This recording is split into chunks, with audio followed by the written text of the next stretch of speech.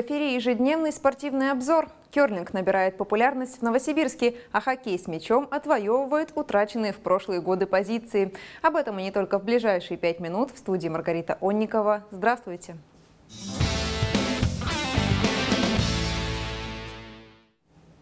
Все на лед. В Новосибирске состоялся открытый чемпионат области по керлингу. Соревнования прошли в дисциплине микст, а это значит, каждая команда состояла из двух девушек и двух мужчин. Керлинг давно перестал быть для Новосибирска чем-то экзотическим. За почти двухлетнюю историю керлинг-центра в нашем регионе появилась детская секция, а новосибирские команды стали победителями чемпионата Сибири и призерами всероссийских турниров. С точки зрения спортивной мы сделали очень большой шаг. У нас занимается где-то порядка 50-60 детей. Вот. А с точки зрения любительского интереса, а, безусловно, очень большой интерес. У нас сейчас играет три лиги. Бизнес-лига, открытая лига и double mix, парный керлинг. А, плюс мы проводим а, регулярно а, турниры э, выходного дня, где все желающие могут приехать и попробовать себя специально для новичков. Сегодня проходит финал областного турнира в дисциплине микст. Обязательное условие – команда из четырех человек. Причем девушек и мужчин должно быть поровну. Как признаются участники, керлинг – отличная альтернатива фитнесу. У нас одна девушка в команде была, сейчас временно не играет, но а, ей, ее в керлинге привлекало то, что она за тренировку теряла по 2 килограмма.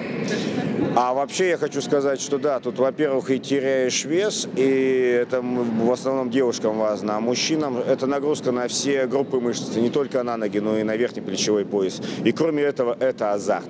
Ходить в зал скучно, играть в керлинг. Участие в турнире приняли 8 команд, причем большая часть любителей. Научиться играть в керлинг просто. По словам бывалых керлеров, именно так называют спортсменов в этом виде спорта, за 15 минут можно изучить все правила игры. А вот для понимания стратегии придется потрудиться. Не зря керлинг называют шахматами на льду. Тут также существует большое количество комбинаций. Скип э, готовит комбинацию на каждый энд. Она может быть атакующая, она может быть рискованная, она может быть пассивная, она может быть защитная. И Скип принимает решение, как его команда ставит гарды, то есть защитники перед домом, э, или ставит в край дома.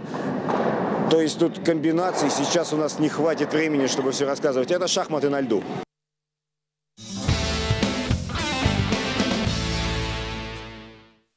Всероссийское признание. Игрок новосибирского Сипсельмаша назван лучшим спортсменом восьмой зимней спартакиады учащихся России.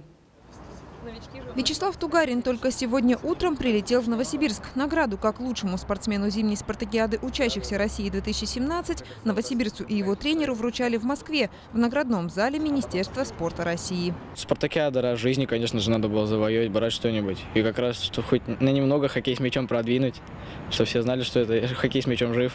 Впечатление очень хорошее, награждение только долго ждали его, потому что рано утром прилетели в 7 утра. После награждения церемонии мы пошли кушать с, со звездами, а потом нас поводили по музею, показали там все. Про хоккей с мячом, конечно, там все. Хотел посмотреть старое мундирование, там и вратарское было, старые щитки, и перчатки, все это, и клюшки какие были старые, все показали. Сборная Новосибирской области по хоккею с мячом триумфально выступила на спартакиаде учащихся в Ульяновске. На групповом этапе новосибирцы выиграли все четыре матча, а в финале переиграли Кировскую родину. В этом решающем матче Вячеслав Тугарин сначала сравнял счет, а потом забил решающий мяч. В командном виде спорта тоже есть индивидуалы, есть игроки, но все равно добивается успеха только команда. Поэтому он, в принципе, он и сверкал на уровне команды, но он тоже самый и командный игрок. Поэтому побеждает всегда команда.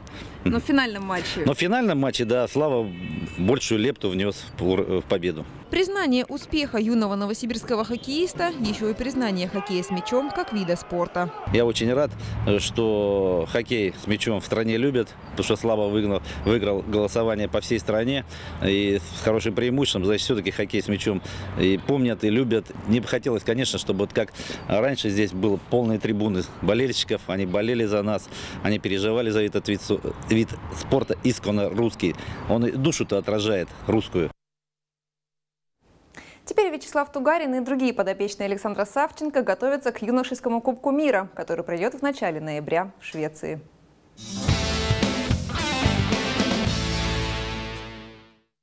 Продолжаем говорить о хоккее с мячом. В главной команде Сипсельмаша много трансферных новостей. Команда активно обновляется к новому сезону. Сипсельмашу удалось сохранить своих лидеров Евгения Леонова, Сергея Гана, Игоря Сычева, Артема Вшивкова, Рауана Исалиева и Павла Анисимова. С ними продлены контракты. У вратаря Игоря Долгополова и полузащитника Евгения Филиппова, которые, кстати, вызваны в национальную сборную на учебно-тренировочный сбор, а также у капитана Алексея Доровских, действующие контракты с клубом. Также стало известно о двух новичках, причем чемпионах страны 2017 года. Из сканефтяников Сипсельмаш на следующий сезон переберут разберутся защитник Николай Мельников и нападающий Кирилл Петровский.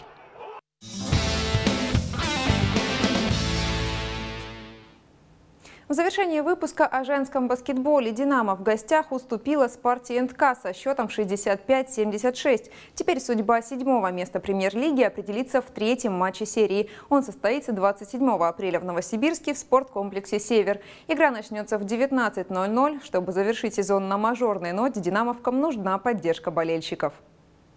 И на этом все. Смотрите наши выпуски. Мы рассказываем только самые интересные спортивные новости региона. До встречи!